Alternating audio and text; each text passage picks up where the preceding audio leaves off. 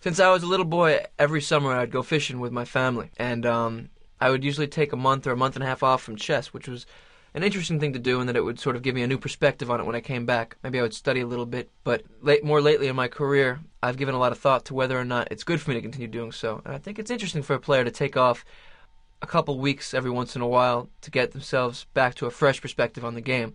I'm not sure that such an extended period is so good because sometimes you find yourself going backwards and getting a little bit rusty. Um, this is the first tournament that I played after I went fishing with my family last summer in '97 and it was the Florida State Championship played in Orlando, and I actually won the tournament, but they wouldn't call me the officials Florida State champion because I'm not from Florida, which was a real shame. Anyway, um, this was the third round game. My opponent's name was Dyson. My opponent played d4, d5, knight f3, knight f6, e3 a slightly less aggressive continuation than the main line. Usually white will play c4 and challenge black center right away. But to do this, white usually needs to have a little bit of knowledge. They have to study the openings a little bit, and a lot of guys will avoid that, just try to play a strategical game without worrying about opening knowledge.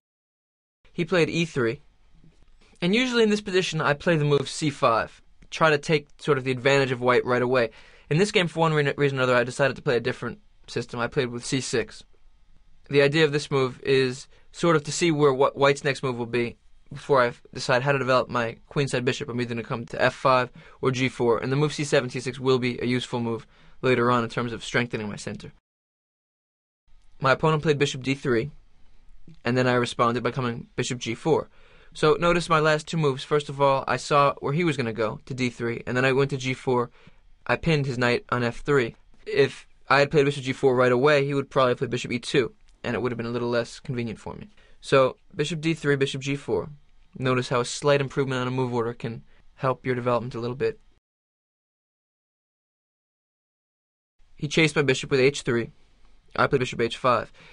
There's no reason for me to immediately take the knight on f3 because the game could open up and the bishop will, be, will be, probably be slightly better than the knight. And also in this structure, after I play bishop h5, you should take a moment and notice what the good bishops are and what the bad bishops are, because this is very important in almost all chess positions. The rule, which some of you may have heard, is that a bishop is a good bishop if your pawns are not locked on that color square and your opponents are. In other words, in the middle game and the opening, this usually relates to the center of the board. So if we look at the center of the board, in this position, if you look at the central pawn structure, white has pawns on d4 and e3, and black has a pawn on d5 and c6. What this would lead us to see is that white's light squared bishop on d3 could be considered his good bishop, and the bishop on c1 could be considered his bad bishop because it's locked in by its own pawns. White's bishop is the d3 bishop is more active.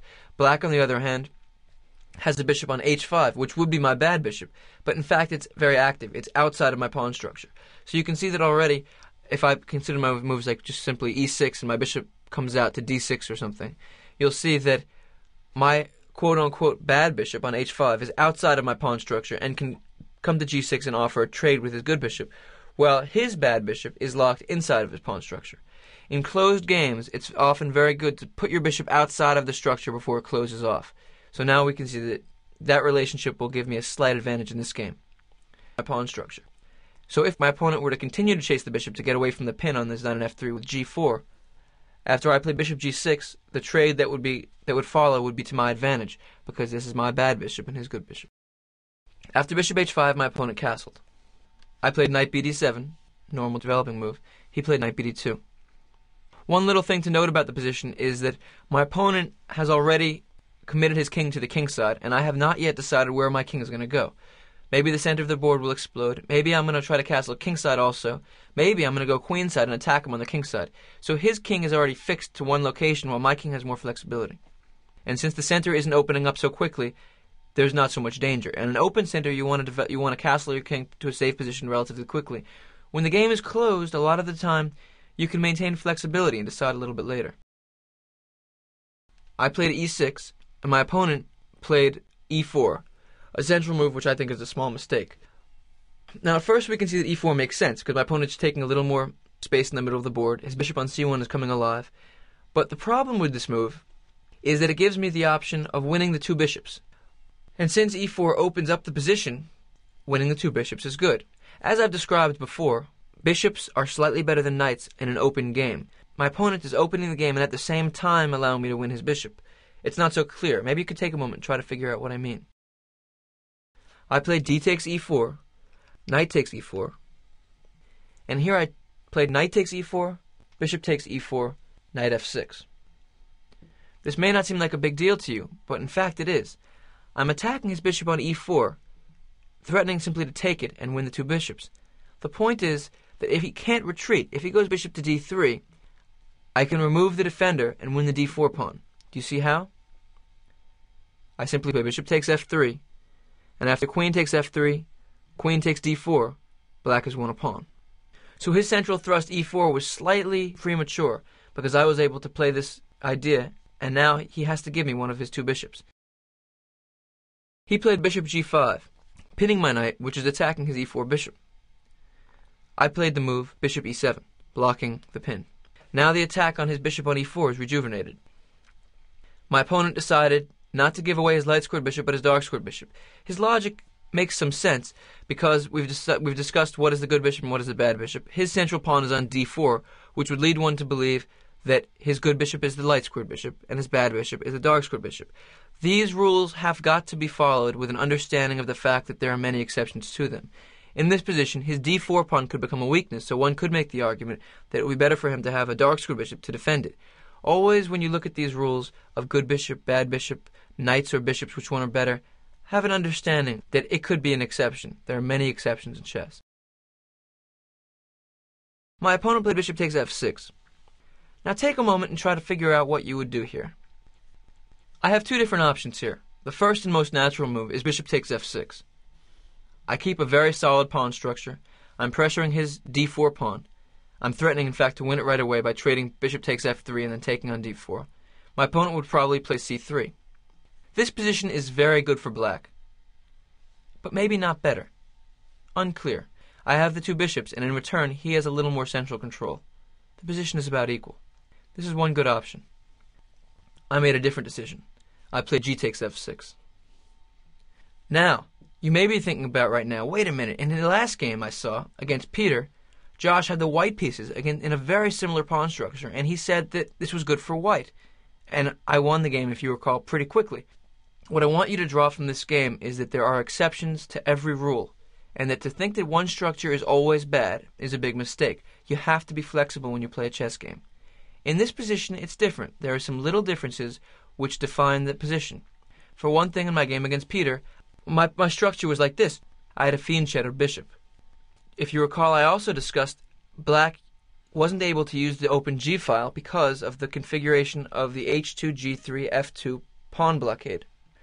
My king was very safe.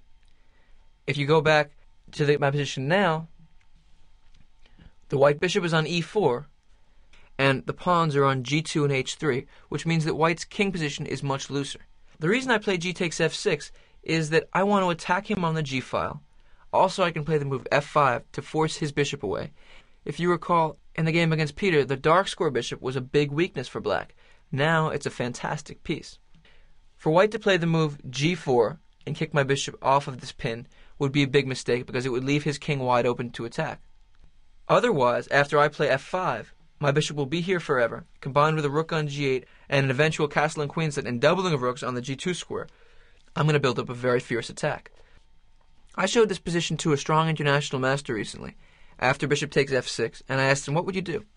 His response, after thinking for a few minutes, was, I'd, I'd play bishop takes f6 here.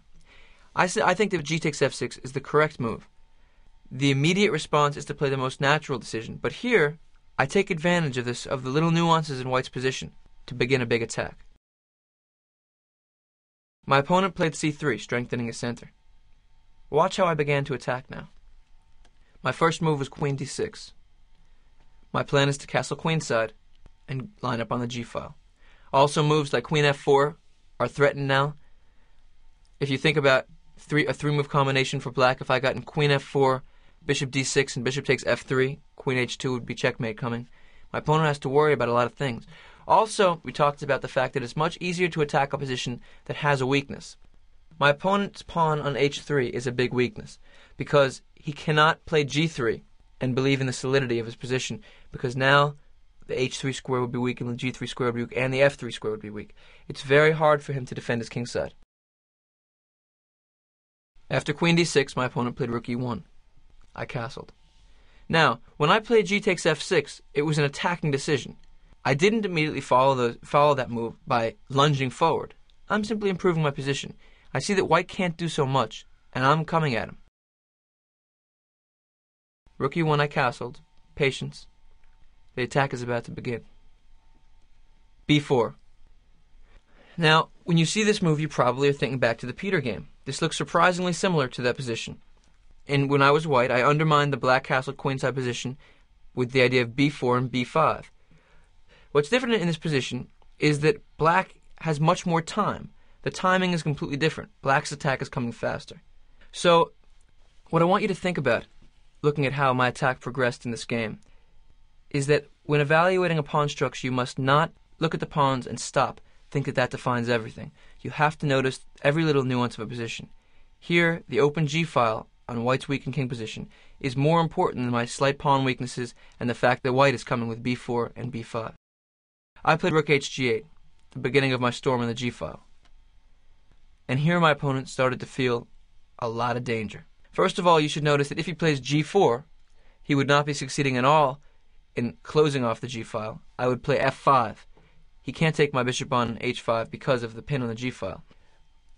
This, by the way, would have held true the move before. If he had played g4, I could have then played rook g8. He can't take on h5 because of the pin, and I'm going to open up the g file. White has to be very careful before pushing pawns in front of his king now. After rook g8, my opponent saw my threats of rook g7 and rook g8. Also saw the fact that I was thinking about playing queen to f4 with the idea of bishop d6. He was very concerned with his position.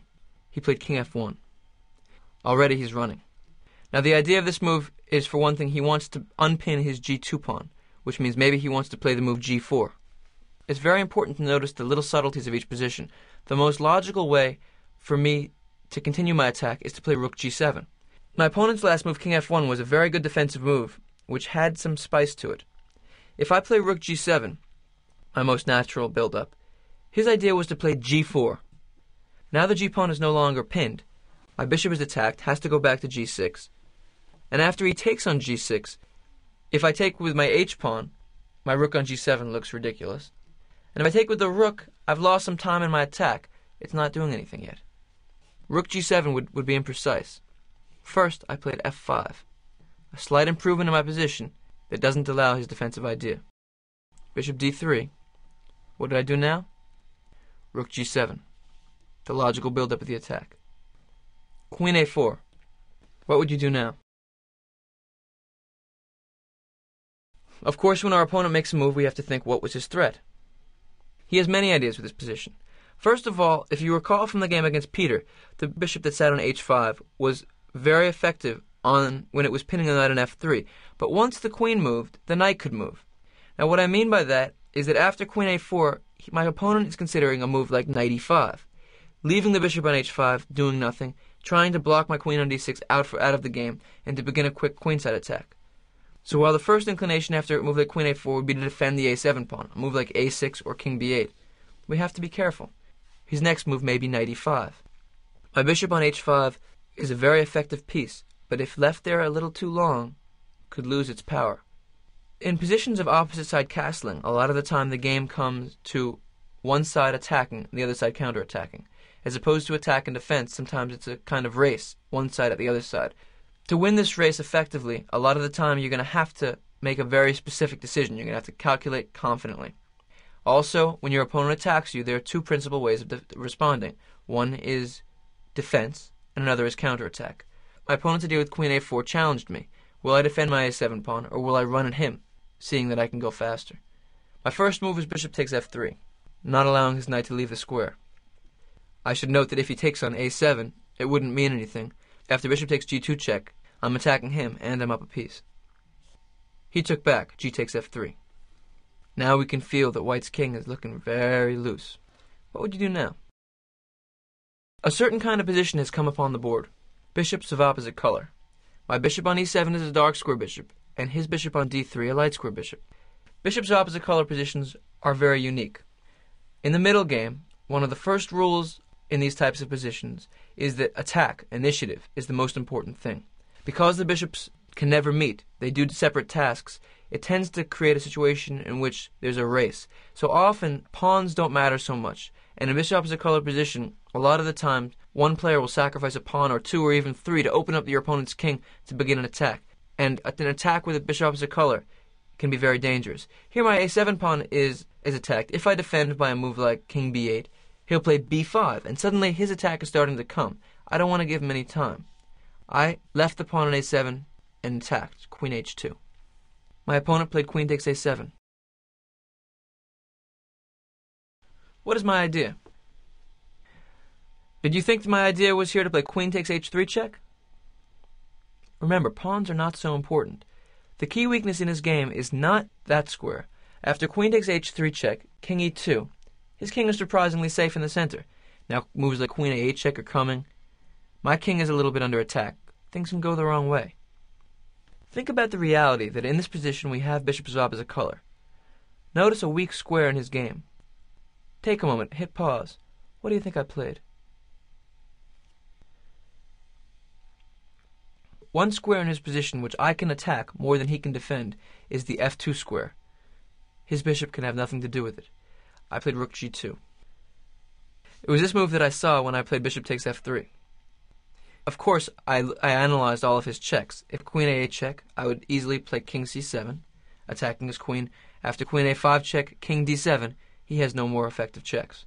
Now he has to deal with the f2 square. His only way to defend it is rook e2, which has a big downside of taking away that square from the king to escape. Black has three mates in one. Rook g1 mate, queen g1 mate, or queen h1 mate. My opponent decided to defend the f2 square with d5.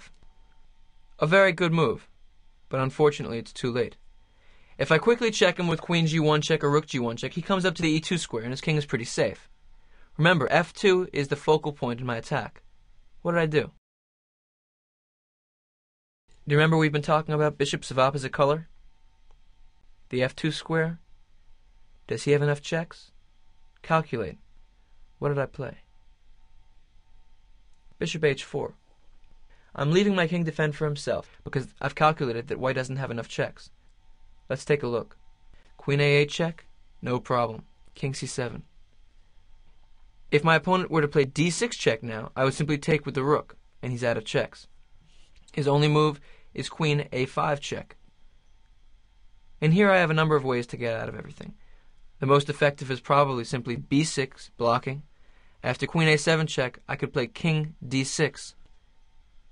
He has no more good checks. f2 is hanging. He's going to get mated. While my king might look a little precarious on d6, his hourglass has run out. Mate is coming soon. My opponent played queen a8 check, king c7, and he resigned. There's no way to defend f2 anymore. So now that you've seen two different games in roughly the same pawn structure, why don't you go back and take a look at them again? Notice in the first one, I took advantage of black's weakened queen side to attack. My king was safe. In the second one, white's king side was a little bit weaker, and I took advantage of that to attack. Go over in your mind how small subtleties of position can be very important in the evaluation of the pawn structure. Also, I want you to give some thought to the nature of the position when there are bishops of opposite color. The attacks come very quickly, very forcefully. Don't be materialistic when you have to rush. When you have to run at your opponent, you have to do it.